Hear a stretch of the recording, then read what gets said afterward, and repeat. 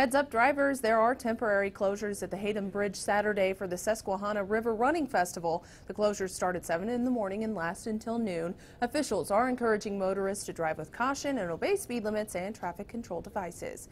Katie Johnston for WJZ.com.